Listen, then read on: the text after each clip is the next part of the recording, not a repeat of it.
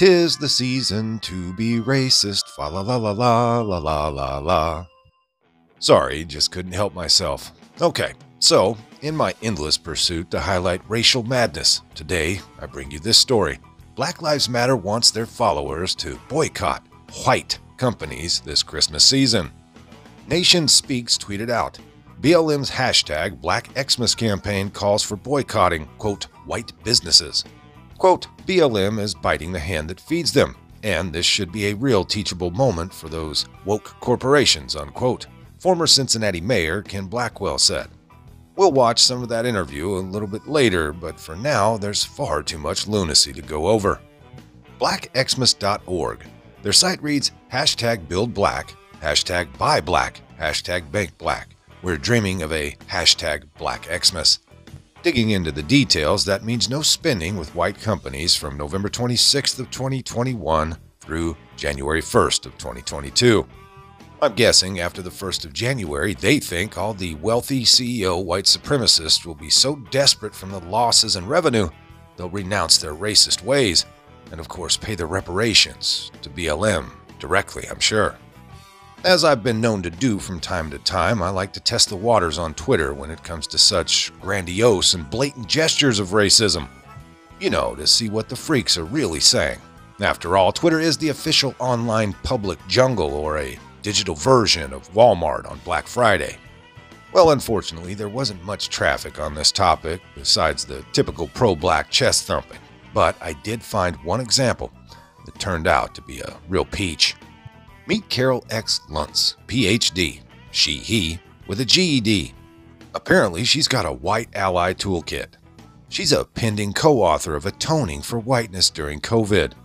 She wants you to know that she's running for chair of progressive affairs. She's also a self made anti racist scholar. Wow, what a go getter Carol is. Carol pinned a tweet on her Twitter page. She wants you to know that I am planning on diversifying my social justice avenues. And for only $200 an hour, she will come to your child's birthday party and make balloons illustrating systemic racism and domestic violence. I told you, she's a peach. Folks, I just couldn't help myself, so here's a couple more examples of how bad things have really gotten for poor Carol. The name Carol is just so fitting, isn't it? Carol also really wants you to be aware of the fact that three out of four black men do not have access to life altering sex change therapy and surgical castration. We need to change that. You see, folks, we need to put skyrocketing inflation, the homeless epidemic, the heroin epidemic, the massive amounts of fentanyl flowing across the border on the back burner because black males don't have access to surgical castration. Come on. Anyways, I'm sure her thoughts on a black Xmas won't surprise anybody at this point, but that's how I started down this rabbit hole, so here we go. She says our holiday campaign to boycott white owned businesses is called Black Xmas. As a white woman, I fully support this segregation even if it lumps me in with white bigots and completely excludes me. She finishes up this whopper of a tweet by saying, I feel a part of something. Carol's last sentence there is very revealing. Quote, I feel a part of something, unquote. Rachel Dolezal, amongst others, come to mind. Last one, and we'll move on. Sampson, the judge, asked Carol a question Have you considered identifying as a black woman for the holiday season to show solidarity, for the sake of inclusivity? Carol, I assuming not fully understanding that Sampson was being sarcastic, answered back, That would be an abomination.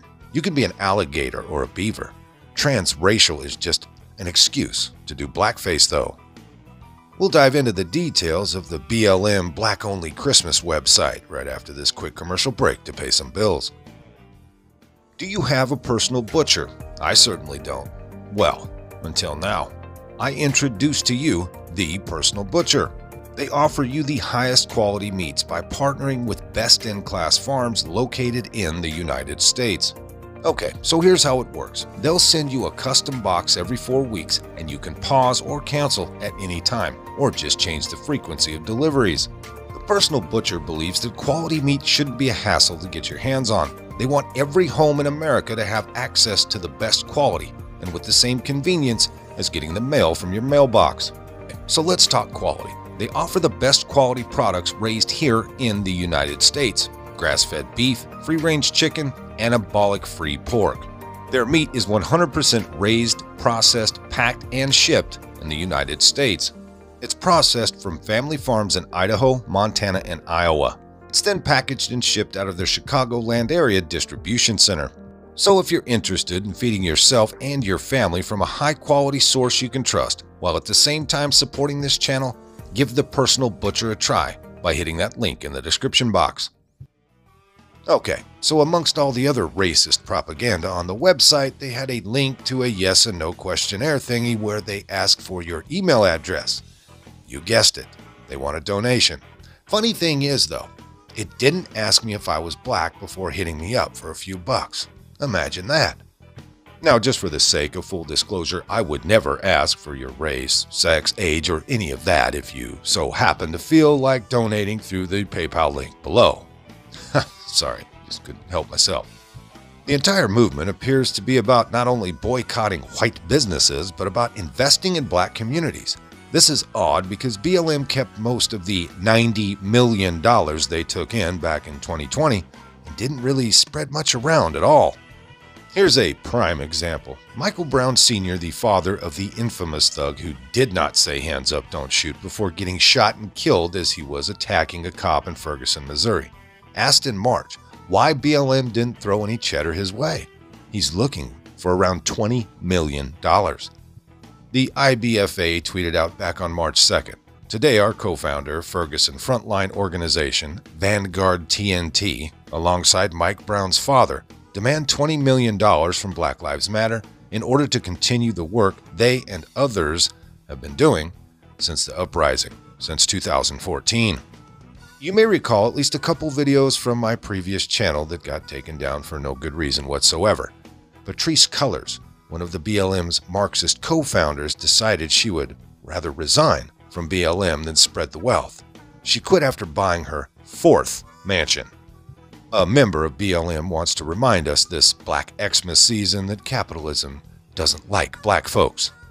Jane Williams reminds us, quote, capitalism doesn't like black people. In fact, white supremacist capitalism invented policing.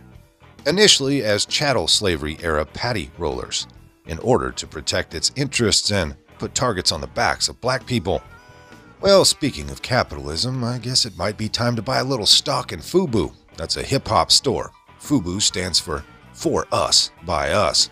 Anyways, they also want you to fly their Yuletide racist Black Xmas logo. Because nothing says Christmas like a log on the fire, a cup of eggnog, and a double helping of black supremacy.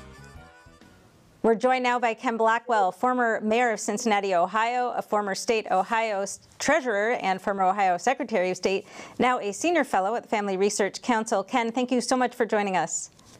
It's a delight to be with you.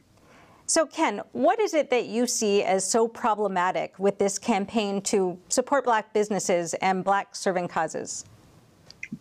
Black Lives Matter, by their own admission, is a Marxist organization. So it is almost uh, it's so ludicrous that a Marxist organization that doesn't believe in God is talking about boycotting Christmas.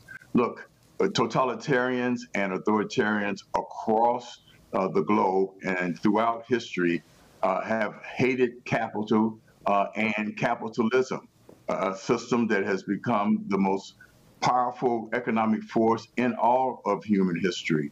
Uh, and so these organizations, this organization that is talking about boycotting Christmas when they don't even believe in God uh, and, and the essence of the Christmas celebration.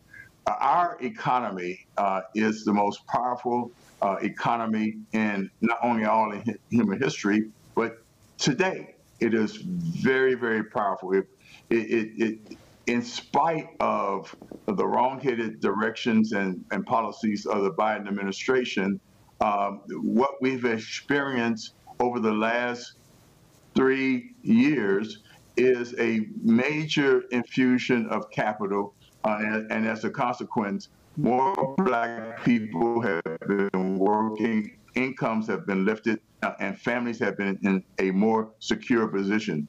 This is highly irresponsible, uh, and I think it's going to fall flat on its face. Now, before I let you go, I just couldn't pass this one up. As I was trolling BLM social media today, I ran across this official response to the Jussie Smollett verdict. It was choice. Let me tell you.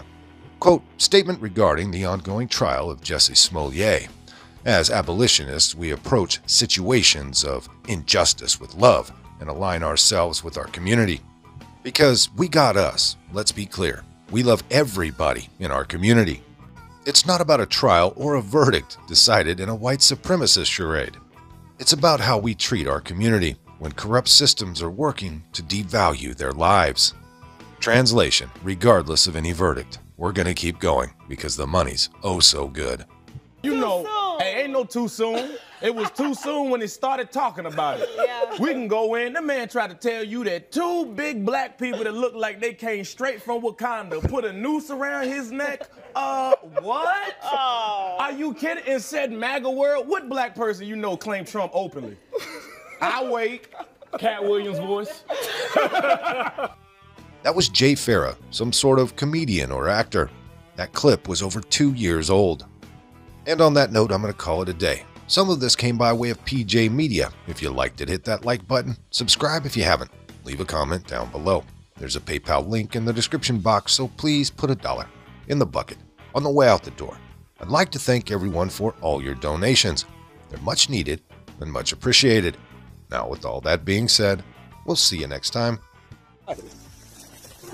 Come on, move. Move. Easy, easy.